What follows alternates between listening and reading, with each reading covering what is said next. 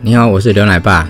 最近在网络上呢，因为在卖懒人包的课程，网络行销懒人包的课程，所以陆陆续续还是接到很多朋友在问说，我可不可以在上完课之后就可以赶快赚到钱？那我可以多久之内就可以把这个课学好？其实这些问题哦，呃，我我为了回答这些问题哈，我都我就去找了一篇我以前收集到的哦，我以前收集到网络的文章。那我觉得这个文章能够解答你的问题，那而且可以解答很多人生的问题，所以我想要分享给大家。那很抱歉，我真的忘记这篇文章是从哪边，它的出处是哪里来的哈，我只能把它当做是网络书斋的分享。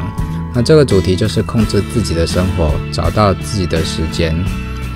人只要能够控制自己的生活，就总能找到时间。这句话像一个响亮的耳光，羞辱着所有被时间追债的现代人。我太忙了，我没有办法。每一个说出这句话的人，都是在宣布自己丧失了对时间的主权。难道还有比这更可怕的事吗？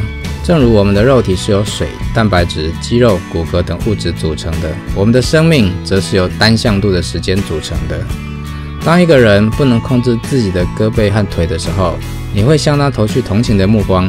却不会怜悯自己那因为失控而瘫痪坏死的时间。你有没有想过，你可能是时间的奴隶？他用一根一米长的铁链拴住你，而你想做的一百件事情就全部躲在十米之外的地方。你好像永远也抓不到。你以为你再过五年、再过十年就抓到了，但真相很可能是一直到老死，你都没抓到过，因为你不是时间的主人。这个星球上仿佛人人都有一份梦想清单。所谓梦想，就像是那十米之外的东西，人们觊觎着它，却又不砸开那一米的铁链条。有人说，我从下个礼拜起就要开始健身了；有人说，等我赚够了钱，我就要多陪陪家人。可是，永远永远不要听人们口头上的清单，不要以为他们一直念念叨叨的就是对他们最重要的，因为构成一个人的实质，绝对是他的时间，而不是他的语言。当他选择了如何填充他的时间，他就是选择了如何填充他的生命。许多人都对家人和子女说过这样的话：“我辛辛苦苦赚钱，还不是为了你们吗？”这句话就是个十足的谎言，因为你一定会看到这样的人，宁可把时间花在打牌、喝酒、聚会、玩游戏这些事，也不会去陪伴他的家人。时间的重要属性就是不可逆和排他性。当你选择了做 A，就势必不能选择做 B。如果一件事情或一个身份对一个人特别重要，那么他一定会在时间的有限疆域里画出一个不可侵犯的地盘，誓死捍卫，不容松动。在这个地盘之外再去规划别的。世间的角色并没有高低好坏之分，你的时间就是你的角色。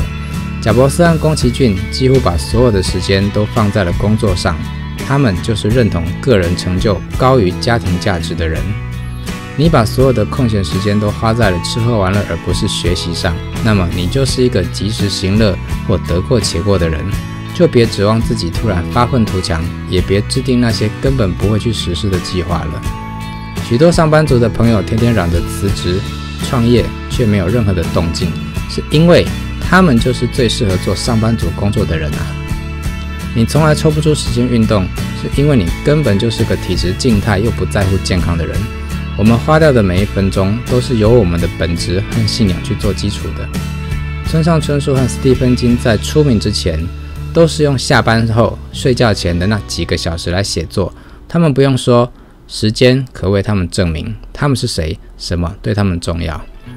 许多朋友在网络上问我：“奶爸，请问我多久可以学会？”“奶爸，请问我多久可以赚到钱？”其实答案早已在你自己的心中。如果你不肯下定决心改变，一年后的你和现在并不会有太大的差别。如果你肯下定决心，所有的改变只需要一瞬间。这个一瞬间指的就是你的念头。你的念头只要在一瞬间改变，你的人生马上改变。我希望你可以再重复的去看这个影片。